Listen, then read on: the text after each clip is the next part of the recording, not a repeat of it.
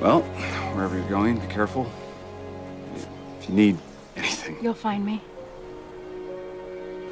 always. I mean, Once Upon a Time for me will always be a great thrill in my life that I'm forever grateful for.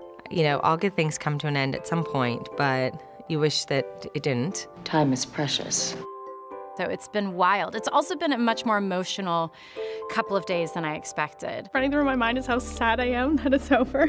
And that, you know, like I came in uh, midway through this season and I'm like, no, it's not enough.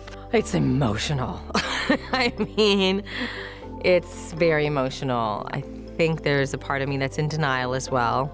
It's hard. I'm just really trying to savor every moment and hug the people I love deeply and spend as much time with them as possible and be here. They're sad to see it come to an end, but there's there's something really joyous about it, especially with these old characters returning, and it's it's like family is coming back together.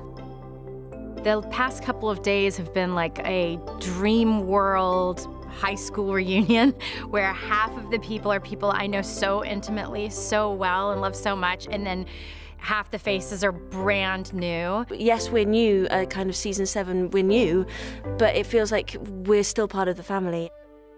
To be able to come back and get the band together one last time is so exciting. And it just, it feels good. It feels like coming home. And it's very nostalgic, which I think is part of why I've been so weepy since we've been filming it. And I believe that we achieve the show's overall objective. To me, the finale is the quintessential Once Upon a Time episode. It is in true Once Upon a Time fashion, the final series finale, adventurous, exciting, emotional, and it sends a message to our fans that we love them. It's a great farewell.